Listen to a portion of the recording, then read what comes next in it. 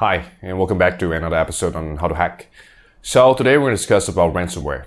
And ransomware has huge publicity because of the way it actually gets into the public. So when a user gets hit by ransomware, it is loud, it's obnoxious, and it's really frightening. So we get a lot of media reach, a lot of people coverage on all these kind of attacks. And what I've done is the past couple of hours, I have decided to really dissect into what ransomware does. It's a malware that has a ransom effect.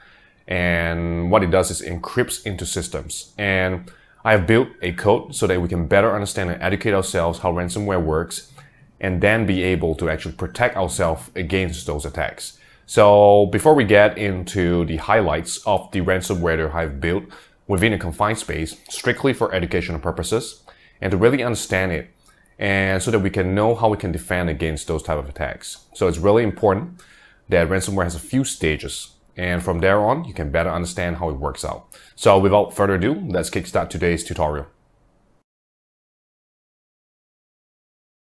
So here we have the high level overview of the ransomware anatomy. I wanted to show this first as a lecture slide because it's really important that we understand the concept and then we start drilling down the details so you understand what's going on from a high level and then you're able to battle keep track of what's going on. So that's really critical. So in version 1, which is what we will go through today, we have the payload that will encrypt the critical data and it comes with a dialog box. So again, very simple way of really for you to understand how the whole concept of a ransom malicious software works. And on version 2, we're going to use vulnerabilities. And again, the vulnerabilities can be extensive. It can be any of those vulnerabilities that you can think of, like the Eternal Blue that you saw earlier on this on the earlier videos. Or it could be like using the VLC vulnerability and then we inject the payload, which is the ransomware into the environment. And then there's, again, there's many multiple attack vectors that we can use through, embed the payload and then deliver it into the machines. And finally, persistence. What do we do if the vulnerability do not get exploited fully, get closed halfway? Can we maintain and persist elevated privileges within the system, all done automatically within the malware. And on version 3, this is where we get really complicated, where we have a lot of understanding of the network. So we will have command control server, hosting and managing all of those exploited agents. And finally, encrypted traffic and encoded payload to bypass and evade antivirus, as well as network intrusion prevention systems.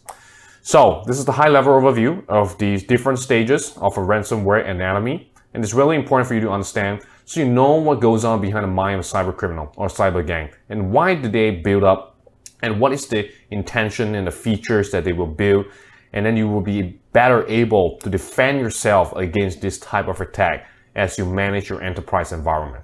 So let's go ahead and go into here. We got Oracle VirtualBox. So I got Kali Linux running and I got a Windows 10 running.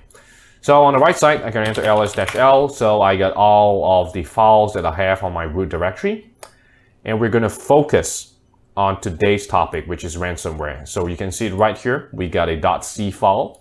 And if you've been following the channel for a while, you will know about how we use Burp Suite, comics, common vulnerability exposure, how we embed that into Metasploit.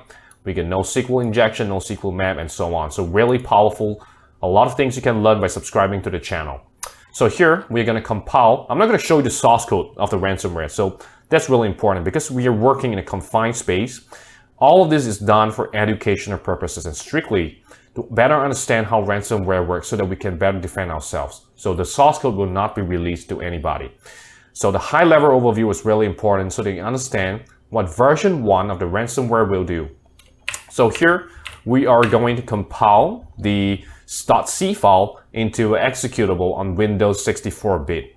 And then when you hit enter, that will compile the file and we will move this file, which is Lloyd ransomware.exe into a, let's say a Apache web server. And once we do that, we can actually go to var www.html and enter ls. So here we got a bunch of files. So likewise, like what I mentioned earlier, it's really important for you to subscribe to the channel because we have went through so many tutorials and you've learned so many things already.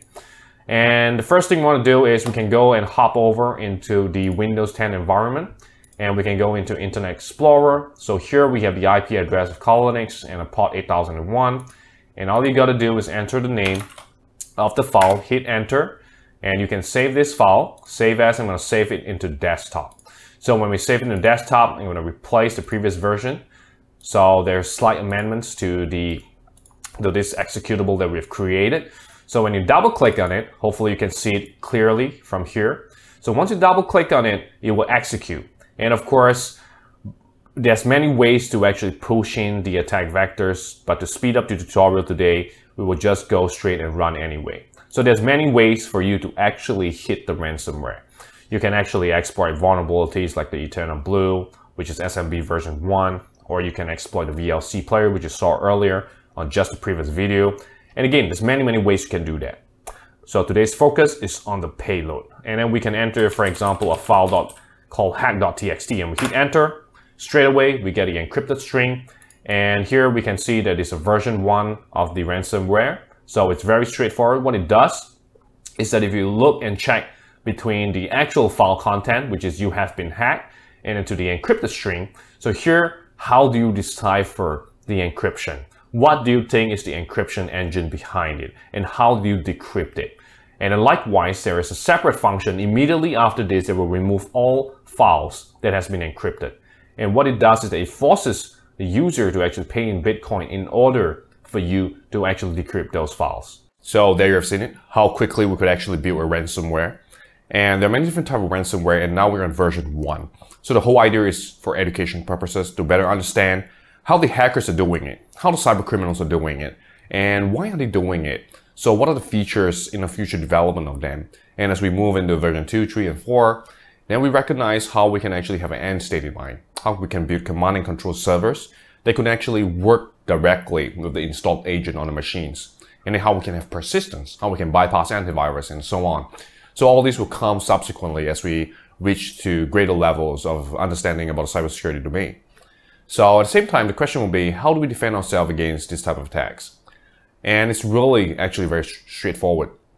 There are just three key points. So the first point is always be patched. Whether you're on Windows operating systems, whether it's server, Windows 10, Windows 8, and so on, or even Macintosh, you want to make sure that you're always patched. Not just on the operating system level, but also on a software application level because a lot of the exploits targets on the operating system as well as the application on top of it. So it's really important that you have a strong patch hygiene across the entire enterprise. Number two is that users must have limited privileges within the systems and applications so that when there is a trigger of a potential executable, immediately their privileges halt them from executing those malicious behaviors and sometimes we call them indicators of compromise from a cybersecurity term. So when you do that, you are able to immediately stop them because they do not have the privileged accesses to access into critical data that are then going to be encrypted by the ransomware. And number three is to really have a understanding about if you get hit, if the ransomware is a very powerful and is invasive against antivirus systems, and then it gets triggered ultimately then what is the incident response plan? How do you contain it? How do you remediate the ransomware? There has to be a process within the enterprise to stop this type of attacks. And you need to have those step-by-step -step instructions or automation immediately to stop those threats. So with that, we come to the end of the tutorial and today's video is strictly for educational purposes. And I hope you learned something valuable. And if you have any comments, feel free to leave a comment below, like, subscribe, and I'll try my best to answer any of your questions. And thank you so much for watching.